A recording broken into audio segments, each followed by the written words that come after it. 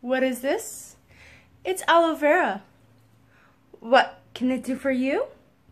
Once you cut off these uh, spiky sides, you can cut this in half and actually take this part and put it into a shake.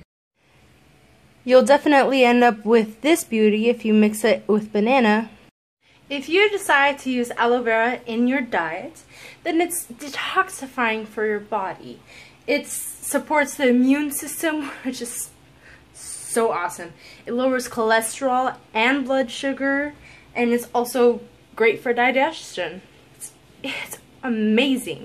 It's an easy way to boost your vitamin and mineral intake. It helps with hair growth. If, if you're ingesting it, like your body will just thrive on it. It's amazing. It's also great for acne and burns and just really any cuts or anything for speeding up the healing process. As you can see with this horrible burn, it's actually a lot better considering how it was a few days ago. So you'll just apply what's ever left on the inside of the peel of the aloe vera. You'll just use it and just rub it like it's um, lotion. And I've found that uh, even on really hot days, obviously after getting this really bad burn, um, that it works as a great uh, sunscreen. Of course, like, make sure you get your vitamins because otherwise it's not really gonna help you if you're not paying attention to what you're taking into your body. Like I said, it's packed with vitamins and it's great for your skin.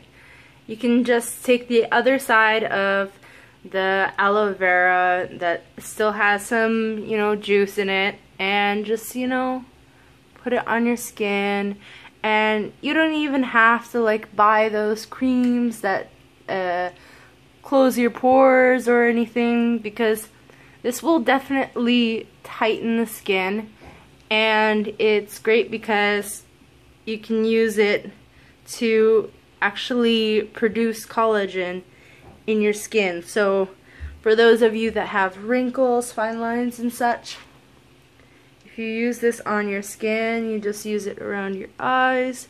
You can reduce the look of bags under your eyes and See, that way you won't even need to wear makeup. You'll just you'll just be using aloe vera every day and it's great because it's not greasy and it doesn't like feel heavy like like regular creams would.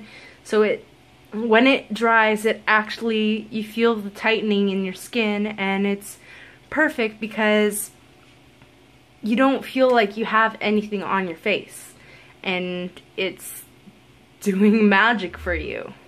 Course, when you're putting it on your skin, I recommend that you shower first because then your skin is clean.